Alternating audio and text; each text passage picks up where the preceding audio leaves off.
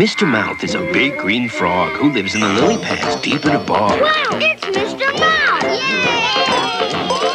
Yay! You flip a fly and up it spins. The kid who gets the most in wins. Yeah, Mr. Mouth!